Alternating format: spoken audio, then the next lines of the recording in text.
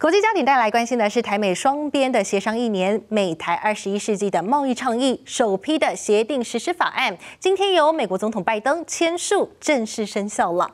那么这项法案被专家认为是美台自一九七九年以来结构最完整的贸易协定。